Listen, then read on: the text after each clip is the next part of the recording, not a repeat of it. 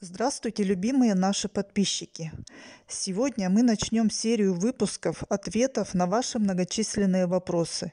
И одновременно будет происходить ваша чистка заговоренными свечами, чтобы не терять зря ваше драгоценное время. А вы слушайте и одновременно очищайтесь.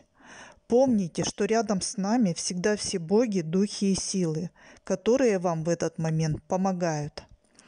Нам задали вопрос, когда будут внуки и дети.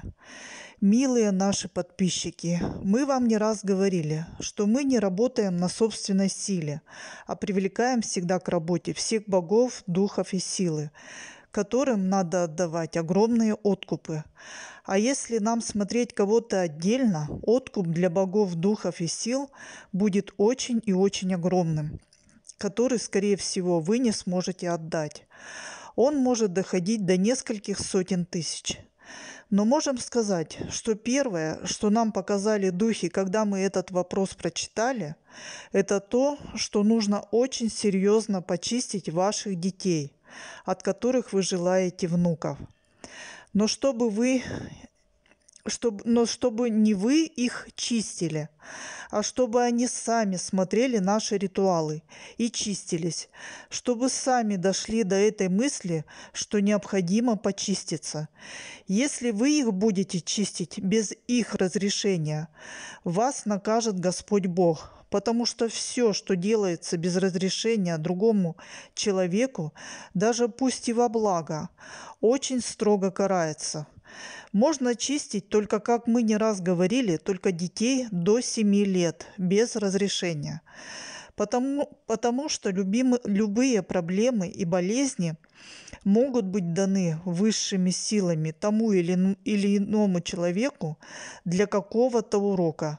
Даже порчам Господь разрешает ложиться на вас для какого-то урока, чтобы вы были более осмотрительны, понимали, что не все люди хорошие, чтобы своим умом дошли, что необходимо почиститься и так далее. А если вы немножечко где-то согрешили, то это расплата за грешочек. А если совсем безгрешны, то это расплата за грехи ваших предков и так далее. Всегда люди должны до сего доходить своим умом, и потому нельзя чистить без разрешения. Иначе это будет вмешательство в Божий промысел, в судьбу человека, вмешательство в волю человека – а если хотите почистить кого-то сами, получите разрешение от этого человека. Пусть этот человек громко и четко скажет разрешаю такому-то человеку меня почистить от порч. И не сомневайтесь, боги, духи и силы эти слова человека услышат. Даже если этот человек болен и не может говорить, пусть напишет разрешение. А если не может и писать, Пусть мысленно много раз скажет про себя «разрешаю, разрешаю, разрешаю меня почистить». Только если человек до такой степени болен, что даже мысленно не может дать вам разрешение, то тогда при очищении надо говорить «очищаю такого-то человека, но только при условии, если ты, Господь, позволяешь его чистить. На все твоя воля, Господь. И вот когда эти ваши дети, от которых вы хотите себя, себе внуков, очистятся полностью, тогда можно делать следующий шаг. Но надо очень много чиститься и долго, и именно нашими ритуалами, потому что в них идет очищение не только их самих, но и кармы рода. Ведь мы ранее сказали, что ваши дети могут быть полностью безгрешны, но на них легла, возможно, карма рода. И потому у вас не может быть внуков. После этого необходимо обязательно сделать хороший откуп.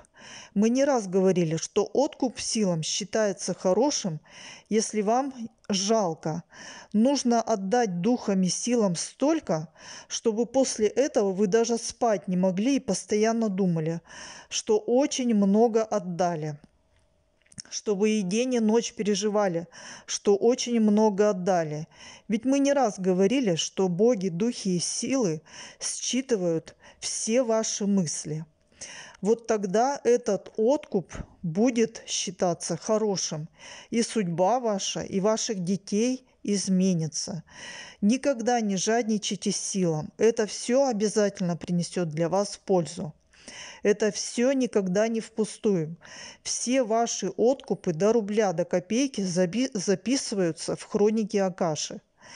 И вот после того, как вы все очистились, отдали хорошие откупы, можно идти к святой Матронушке, к Богородице, к другим святым и вымаливать у них детей.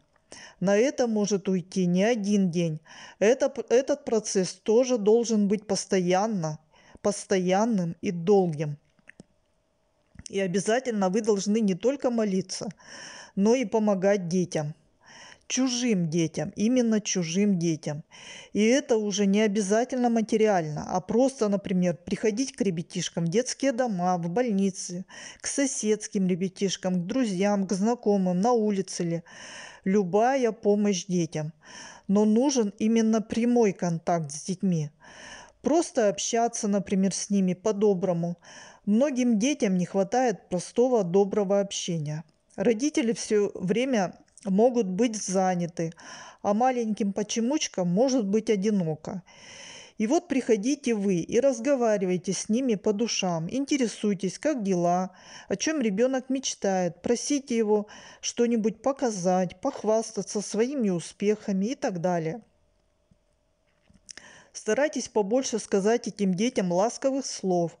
Хорошо бы обнять таких детей, но только чтобы вас не заподозрили в педофилии. Будьте осторожны. А если все хорошо, и вы точно знаете, что у посторонних не возникнет никаких подозрительных мыслей насчет вас, то тогда как можно больше обнимайте таких детей. Если совсем малыши, держите таких детей на руках.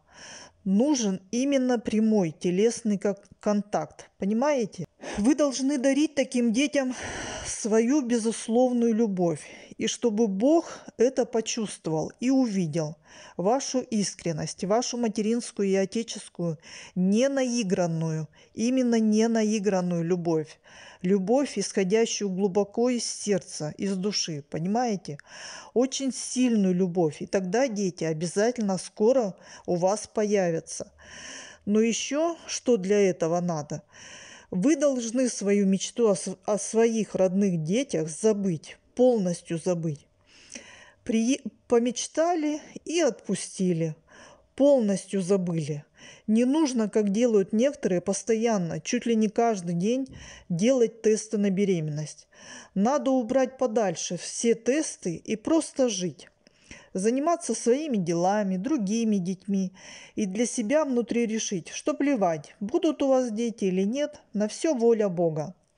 А вот, ну вот мы будем дарить свою любовь и нежность другим детям, и эти дети будут нашими любимыми детьми. И настроиться на этих детей, а про желание своих детей полностью забыть. Любые мечты исполняются только тогда, когда о них полностью забываешь. Помечтали и отпустили, забыли. А иначе своими мыслями вы свои мечты держите в клетке. Таков закон любой магии, что надо уметь забывать, отключаться от мечты.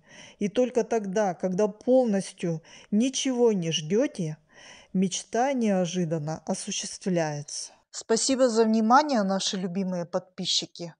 А продолжение в следующем выпуске.